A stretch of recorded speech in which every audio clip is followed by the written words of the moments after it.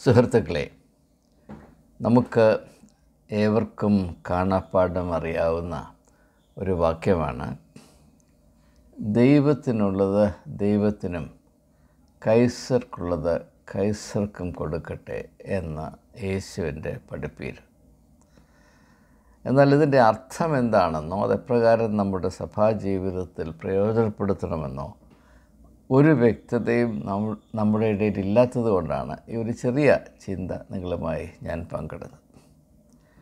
നിങ്ങൾ ഈ ഒരു പ്രസ്താവന പരിശോധിച്ചാൽ അതിലേറ്റവും പ്രകടമായി കാണേണ്ടത് രണ്ട് തരത്തിലുള്ള അധികാരങ്ങൾ. ഇംഗ്ലീഷിൽ ടെമ്പറൽ അതോറിറ്റി എന്നും സ്പിരിച്വൽ അതോറിറ്റി എന്നും പറയും. അല്ലെങ്കിൽ ഭൗതികമായ അധികാരം രണ്ട് ആത്മീകമായ അധികാരം അല്ലെങ്കിൽ മാനുഷികമായ അധികാരം രണ്ട് ദൈവികമായ അധികാരം. ഇത് രണ്ടും ഒരേ വ്യക്തിയിൽ അല്ലെങ്കിൽ ഒരേ ഒരു അധികാര കസേരയിൽ കേന്ദ്രീകരിക്കപ്പെടരുത് എന്നതാണ് ഇതിലേറ്റവും പ്രധാനപ്പെട്ട ആശയം. ഇത് മനസ്സിലായെങ്കിൽ ഈ ഒരു തിരിച്ചറിവിന്റെ വെളിച്ചത്തിൽ നാം സഭയുടെ ഭരണഘടന സഭയുടെ സംവിധാനം പരിശോധിച്ചാൽ നമുക്ക് മനസ്സിലാകും. അത് യേശുവിന്റെ ദർശനത്തിന് ഘടകവിരുദ്ധമാണ് നമുക്കറിയാം ലോകത്തിൽ ഭൗതികമായി നാം നോക്കുമ്പോൾ മൂന്ന് പ്രധാന അധികാര കേന്ദ്രങ്ങളാണ് നാം കാണുന്നത്. അത് ഇംഗ്ലീഷിൽ എക്സിക്യൂട്ടീവ് എന്നും ലെജിസ്ലേറ്റീവ് എന്നും ജുഡീഷ്യറി എന്നും പറയും. അതായത് ഭരണഘടന ഭരണ ഭരണകേന്ദ്രം പാർലമെന്റ് നീതിന്യായ വ്യവസ്ഥിതി. ഇത് മൂന്നും ഇൻഡിപെൻഡന്റാണ്. പരസ്പര അധികാരത്തിന്റെ കീഴിലുള്ളതല്ല അതിന് അതിന്റേതായ അധികാരങ്ങളുണ്ട്. ഒന്ന് മറ്റതിനെ കീഴടക്കാൻ പാടില്ല. ഒന്ന് മറ്റതിന്റെ പ്രവർത്തനത്തിൽ കൈയിടാൻ പാടില്ല.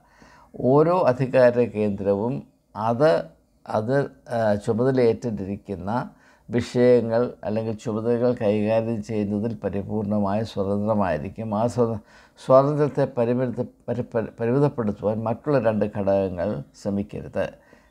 അതിനാണ് doctrine of the separation of powers എന്നാണ് ഇതിന് ടെക്നിക്കലായിട്ടുള്ള ഭാഷയിൽ പറയും അപ്പോൾ ഇത് ഭൗതികമായ ലോകത്തിൽ വളരെ സ്പഷ്ടമാണ്. മൂന്ന് അധികാര കേന്ദ്രങ്ങൾ എക്സിക്യൂട്ടീവ് ലെജിസ്ലേച്ചർ ആൻഡ് ജുഡീഷ്യറി അത് പരസ്പരം ഇൻഡിപെൻഡന്റ് ആണ്. ഒന്ന് മറ്റതിനെ നിയന്ത്രിക്കാൻ ശ്രമിക്കുന്നില്ല. ഓരോന്നിനും അതിന്റേതായ അധി ചുമതലയും അധികാര പരിധിയുമുണ്ട് ആ പരിധിക്കുള്ളിൽ നിന്ന് വേണം പ്രവർത്തിക്കാൻ. ഇത് വളരെ വ്യക്തമായ ഒരു ഘടനയാണ്. എന്നാൽ നാം മതത്തിന്റെ സംവിധാനത്തിലേക്ക് വരുമ്പോൾ ഇത് മൂന്നും ഒരേ ഇടത്ത് കേന്ദ്രീകരിച്ചിരിക്കുകയാണ്. എക്സിക്യൂട്ടീവും ലെജിസ്ലേറ്റീവും ജുഡീഷ്യറിയും ഒന്നാണ്. അതാണ് ഈ സഭയുടെ ഏറ്റവും വലിയ പ്രശ്നം. ഇപ്പോൾ നമ്മൾ പോപ്പിനെ നോക്കുമ്പോൾ പോപ്പ് എക്സിക്യൂട്ടീവാണ് ലെജിസ്ലേറ്റീവ് ലെജിസ്ലേച്ചറാണ് ജുഡീഷ്യറിയുമാണ്. പോപ്പിന്റെ വാക്കാണ് അവസാനം. ഇപ്പം നമ്മുടെ സഭാജീവിതത്തിൽ നോക്കുമ്പോൾ ഉദാഹരണമായിട്ട് ചർച്ച് ഓഫ് സൗത്ത് ഇന്ത്യയിൽ ഈ അടുത്ത കാലത്ത് വരെ നിന്ന ഒരു വലിയ പ്രശ്നം. അതെന്താണ്? ധർമ്മരാജ റസാലോ എന്ന് പറയുന്ന സൗത്ത് കേരള ഡയസസിന്റെ ചുമതലയിലുണ്ടായിരുന്ന മെത്രാൻ. അദ്ദേഹത്തിന് കസേര ഒഴിയാൻ വയ്യ. അപ്പോൾ എന്ത് ചെയ്തു? സഭയുടെ പാർലമെന്റായ സിനഡിൽ കൂടെ അദ്ദേഹത്തിന് ഗുണം വരുന്ന ഒരു നിയമം അങ്ങ് പാസ്സാക്കി എന്താണ്? റിട്ടയർമെന്റ് ഏജ് അറുപത്തേഴിൽ നിന്ന് എഴുപതായിട്ട് കുറച്ചു. കേരളത്തിൽ നല്ല കഴിവുള്ള ആളുകൾ അമ്പത്തിയാറാമത്തെ വയസ്സ് റിട്ടയർ ചെയ്യുമ്പോൾ പുരോഹിതന്മാരും മെത്രാന്മാരും അറുപത്തിയേഴിൽ റിട്ടയർ ഇതിന് മുമ്പ് അമ്പത് അറുപത്തഞ്ചായിരുന്നു. അത് അടുത്തയിടെ അറുപത്തിയേഴായി കൂട്ടി. ഇദ്ദേഹത്തിന് കസേര വിടാൻ പറഞ്ഞതുകൊണ്ട് അറുപത്തിയേഴിൽ നിന്ന് എഴുപതാക്കി. നിങ്ങൾ മനസ്സിലാക്കണം. ഇത് സാധിക്കുന്നത് എങ്ങനെയാണ്? ഈ സിനഡെന്ന് പറഞ്ഞാലും സിനഡിന്റെ പ്രധാനപ്പെട്ട ഓഫീസറാകുന്ന ഈ മെത്രാന്റെ കയ്യിലാണ്. അപ്പോൾ അദ്ദേഹം പറയുന്നത് പോലെ അദ്ദേഹം വരയ്ക്കുന്ന വരയിൽ ഒപ്പിടാനായിട്ട് കാത്തു നിൽക്കുന്ന അനുയായികൾ മാത്രമാണ് അടിമകളായ അനുയാ അനുയായികൾ മാത്രമാണ് സിനഡിലുള്ളത്. അതുകൊണ്ട് ഒരു നിയമം പാസ് പാസ്സാക്കി എടുക്കാൻ ഒരു പ്രയാസമില്ല പിന്നെ അത് കേസായി പിന്നെ കോടതി അസ്ഥിരപ്പെടുത്തി ഇപ്പോൾ അദ്ദേഹത്തിന് ഇറങ്ങേണ്ട. കോടതി വലിച്ചിറക്കിയത് കൊണ്ട് മാത്രം ഈ ദേവദാസിനെ ഇറങ്ങിപ്പോകേണ്ട ഗതികേടാണ് ഇപ്പോൾ വന്നിരിക്കുന്നത്.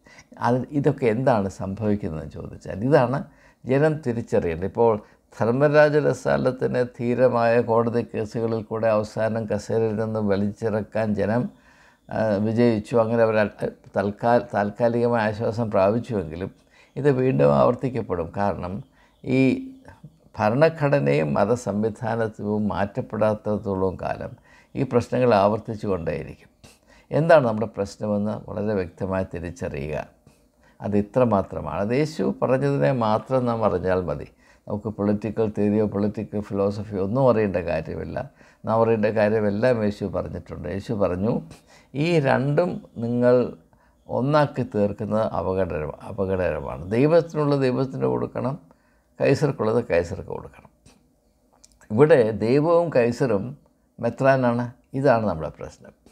മെത്രാൻ പറയുന്നത് പോലെ മാത്രം പ്രവർത്തിക്കുന്ന ആളുകളെ ഡയസസൻ അധികാരികളാക്കും ഡയസസൻ കൗൺസിലെ മെമ്പേഴ്സാകും. അല്ലാതെ ആരെങ്കിലും ഉണ്ടെങ്കിൽ അവരെ അടിച്ചിരുത്തും. തൽഫലം ഇപ്പോൾ എനിക്കൊരു പ്രശ്നമുണ്ടെങ്കിൽ എന്നെ എനിക്ക് ഞാനൊരു അനീതി അനുഭവിച്ചു. ഞാനതിന് പരിഹാരം തേടണമെങ്കിൽ ഒരു വിശ്വാസി എന്ന നിലയിൽ ഡയസസിന്റെ കോടതിയിൽ പോകണം. അവിടെ ഇരിക്കുന്ന ആരാണ്? അവിടെ എന്നെ ആക്രമിച്ച ആളുകളും അവരോട് അനുഭവമുള്ളവർ മാത്രമാണ് ഇരിക്കുന്നത്. അവിടെ നിന്ന് ഞാൻ എങ്ങനെയാണ് നീതി പാലിക്കുക അതിന്റെ നല്ലൊരു ഉദാഹരണമാണ് ഫ്രാങ്കോ മുളയ്ക്കൽ ബലാത്സംഗം ചെയ്തു എന്ന് അവർ പരാതിപ്പെട്ട ഒരു കന്യാസ്ത്രീ. അവർ സഭയുടെ അധികാരികളായ അനേകം ആളുകളുടെ വാതിൽ പോയി മുട്ടി. അവരെല്ലാം അവരെ പുച്ഛിച്ച് തള്ളി. കാരണം അവളെ ആക്രമിച്ച വ്യക്തി അല്ലെങ്കിൽ അവളെ ആക്രമിച്ചു എന്ന് എന്ന അവൾ ആരോപിച്ച വ്യക്തി ഈ ഭരണകൂടത്തിന് ചുക്കാൻ പിടിക്കുന്നയാളാണ് അയാൾക്കെതിരെ എങ്ങനെയാണ് നീതി കിട്ടുന്നത്? ഈ ഒരു വലിയ പ്രശ്നം നമ്മുടെ ഇടയിൽ നമ്മെ തുറിച്ചു നോക്കുകയാണ്. ഇത് വേണ്ടതുപോലെ ജനം തിരിച്ചറിയുന്നില്ല. അപ്പോൾ ഈ അടുത്തിടയിൽ സർക്കാരിന്റെ നേതൃത്വത്തിൽ അല്ലെങ്കിൽ ഇനീഷ്യേറ്റീവിൽ ലോ കമ്മീഷൻ മുഖാന്തരമായിട്ട് ഭരണപരിഷ്കാര കമ്മീഷൻ മുഖാന്തരമായിട്ട് ചർച്ച് ബില്ലെന്ന് പറഞ്ഞ ഒരു കാര്യമുണ്ടാക്കി അതിനെ മെത്രാന്മാരെ ഒറ്റക്കെട്ടായി നിന്ന് നിശിതമായി എതിർപ്പി എതിർത്ത് തോൽപ്പിച്ചു. ഈ ചർച്ച് ഉദ്ദേശം എന്താണ്? ഈ സെപ്പറേഷൻ ഓഫ് പവേഴ്സാണ് അതായത് നിങ്ങളുടെ സ്വത്ത് ജനങ്ങളുടെ സ്വത്ത് എപ്രകാരം വിനിമയം ചെയ്യപ്പെടണമെന്ന് തീരുമാനിക്കാനുള്ള ജനായത്തപരമായ അവകാശം ജനങ്ങൾക്കുണ്ടാകണം എന്നത് മാത്രമാണ് ചർച്ച് ബില്ലിന്റെ ആകെപ്പാടെയുള്ള ഉദ്ദേശം. അതിനെ തെറ്റിദ്ധരിപ്പിച്ചിട്ട് നമ്മുടെ സഭകളെ ആക്രമിക്കുകയാണ് സർക്കാരെല്ലാം എടുത്തു കൊണ്ടുപോകും എന്നൊക്കെ പച്ചക്കള്ളം പറഞ്ഞ് ജനങ്ങളെ ഇറക്കി ഇളക്കി വിട്ട് പിന്നെ രാഷ്ട്രീയമായ കുതന്ത്രം കളിച്ച് മെത്രാൻ കക്ഷി ജയിച്ചു. അവരിപ്പോഴും എക്സിക്യൂട്ടീവുമാണ് ലെജിസ്ലേറ്റീവുമാണ് ജുഡീഷ്യറിയുമായിട്ട് നിൽക്കുകയാണ്. അതുകൊണ്ടാണ് നമ്മുടെ ഇടയിൽ ആർക്കും നീതി ലഭിക്കാത്തത്. അതുകൊണ്ടാണ് ഈ മെത്രാന്മാരുടെ അഹങ്കാരത്തിന് യാതൊരു പരിധിയുമില്ലാത്തത്. അതുകൊണ്ടാണ് ഏത് വഷളത്വവും ചെയ്യാൻ അവർ മടിക്കാത്തത്. അവർക്ക് ആരോടും ഉത്തരം ബോധിപ്പിക്കേണ്ട കാര്യമില്ല. അവരോട് ചോദിക്കാൻ ആളില്ല. ദൈവത്തോട് ദൈവഭയം എന്നേ വിട്ടു. മനുഷ്യരെ പേടി പേടിയുണ്ടായിരുന്ന അതും പോയി. പിന്നെ എങ്ങനെയാണ് ഭ്രാന്ത് പിടിക്കാതിരിക്കുന്നത്? അതുകൊണ്ട് നമ്മൾ ഈ വചനമൊക്കെ വായിക്കുന്നു. നമ്മൾ വചനത്തിലെ ആളുകളാണ്. നമ്മൾ വേദപുസ്തകം സംബന്ധമായ പ്രസംഗം കേൾക്കുന്നു. എല്ലാ ദിവസവും എല്ലാ ഞായറാഴ്ചയും പള്ളിയിൽ പോയിരുന്ന സുവിശേഷ പ്രസംഗമൊക്കെ കേൾക്കുന്നു. വചന ഘോഷം കേൾക്കുന്നു. പക്ഷേ യേശുവിന്റെ ആദർശങ്ങളെ പ്രവൃത്തിപഥത്തിലേക്ക് കൊണ്ടുവരുവാൻ ആരും ശ്രമിക്കത്തില്ല. അപ്പോൾ ഇത് തന്നെ എടുത്താൽ ഇത് ഒരു സഭ എപ്രകാരം ഭരിക്കപ്പെടണം എന്നതിനെപ്പറ്റിയ വ്യക്തമായ പഠിപ്പീരാണ്. ദൈവത്തിനുള്ള ദൈവത്തിന് കൊടുക്കണം കൈസർക്കുള്ളത് കൈസർക്ക് കൊടുക്കണം. ദൈവത്തിന്റെയും കൈസറിന്റെയും പരിപാടി മെത്രാൻ കൈ വെച്ചുകൊണ്ട് നടക്കരുത് എന്നാണ് എന്റെ അർത്ഥം. പക്ഷേ ഏത് മെത്രാനോട് പറയാനാണ്? ഏത് മെത്രാൻ കേൾക്കാനാണ്? സാധാരണക്കാരായ നിങ്ങളെങ്കിലും അറിയണം. യേശു എന്തെല്ലാം പഠിപ്പിച്ചോ? അതിനെ നൂറിൽ നൂറ് ശതമാനവും എതിർത്ത് പരാജയപ്പെടുത്തിക്കൊണ്ടാണ് ഈ മത അധികാരികൾ മുന്നോട്ട് നീങ്ങുന്നത് അവരുടെ അധികാരം വലുതാക്കുന്നത് സംരക്ഷിക്കുന്നത് അതിന്റെ ഫലമായി ജനങ്ങളുടെ അടിമത്തത്തിന്റെ മൂർച്ച കൂടിക്കൊണ്ടേയിരിക്കുന്നു. ഞാനിപ്പോൾ എവിടെ നോക്കിയാലും ആളുകൾ നിന്ന് കരയുകയാണ്. അയ്യോ എന്നോട് അത് ചെയ്തു അയ്യോ അത് എന്നോട് ഇത് ചെയ്തു.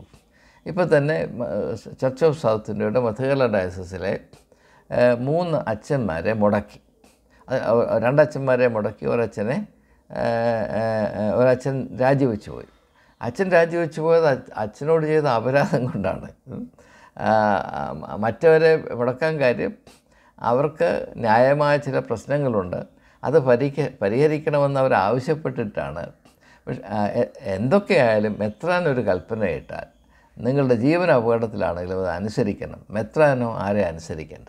മെത്രാൻ ആരോടും കണക്ക് പറയേണ്ട. ഇങ്ങനെയുള്ള ഒരു ദുർവാഴ്ചയുടെ സ്വച്ഛാധിപത്യത്തിന്റെ ദുർവാ വാഴ്ചയുടെ കടികൊള്ളുന്നവരാണ് വിശ്വാസികൾ. എന്ന യാഥാർത്ഥ്യം ഇവർ തിരിച്ചറിയണം എന്ന് മാത്രം അപേക്ഷിച്ചുകൊണ്ട് വാക്കുകൾ ചുരുക്കുന്നു.